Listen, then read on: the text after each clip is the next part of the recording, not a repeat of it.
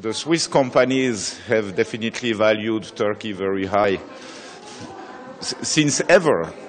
Uh, I think the first serious investments in Turkey started in the 30s, and nowadays Swiss companies are ranked number six uh, among the investors in, uh, in Turkey. So I think you can say that Switzerland is a major investor in Turkey.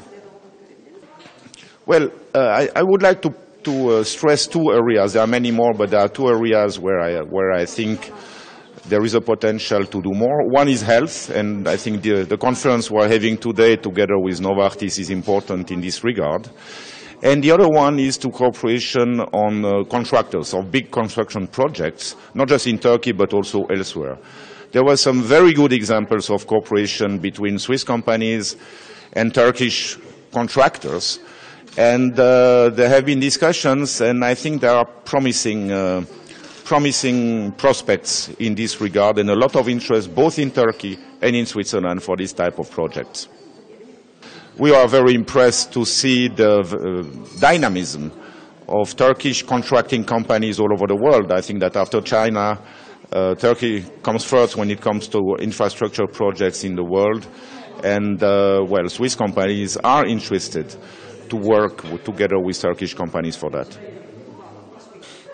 The investors are looking at a number of things like uh, stability, macroeconomic stability.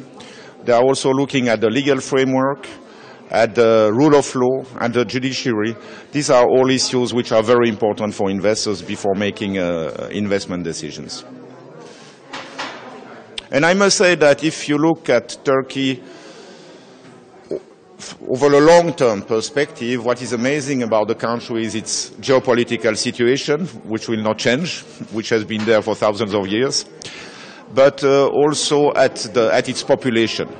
I do believe that there is a pool of young, talented entrepreneurs, innovators in Turkey, and uh, while I'm here, I would really like to uh, raise awareness with uh, potential Swiss investors about these very positive trends in the society.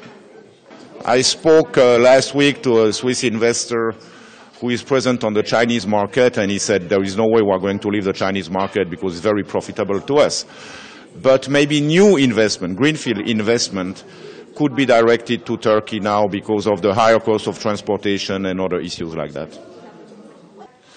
Well, I I, well, frankly, what I would really like uh, potential investors from Switzerland to do is to come here and map and scout the innovation scene, especially the high tech, the high tech scene, because I have, I have met lots of young people, entrepreneurs, who, who, who seem to have a lot of talent. Some of them are very successful, as we know, especially in uh, computer games. But I'm pretty sure that there would be, there can be other opportunities in other areas of high tech and innovation and digitalization, which would be profitable also for our companies.